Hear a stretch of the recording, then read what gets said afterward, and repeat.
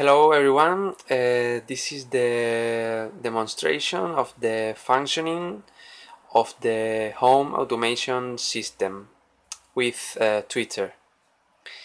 Well, uh, the first thing we have to do is to connect the Arduino to the USB port of our computer. Here we can see that uh, Arduino has been connected. And the same will appear on our Twitter account. If we type the local IP of the Arduino, uh, we can see the um, controls of the lights, automatic mode and blinds, which we can turn on and off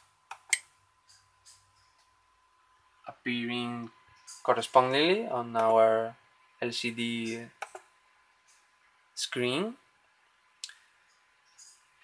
and on our Twitter account.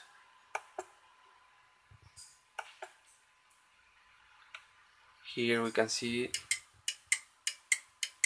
how does the automatic mode works and the blinds.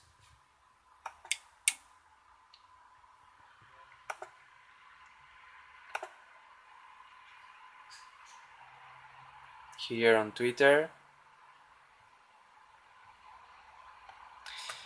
And then, and as regards to the uh, Raspberry Pi, if we type the local IP of the Raspberry uh, in the port number 8081, in this case,